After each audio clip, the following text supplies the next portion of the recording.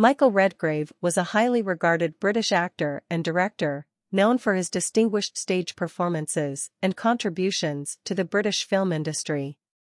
He began his acting career in the 1930s and quickly gained critical acclaim for his stage performances, including his role in the Aspern Papers.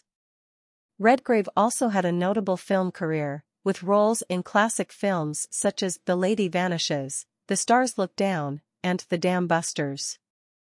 Despite his success, Redgrave's personal life was marked by tragedy, as his wife Rachel Kempson suffered from mental illness and their daughter, actress Lynn Redgrave, died from breast cancer in 2010.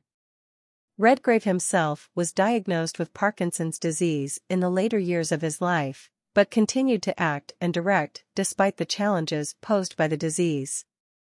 Redgrave's legacy as an actor and director continues to be celebrated to this day. He received numerous awards and honors for his contributions to the arts, including a knighthood in 1959.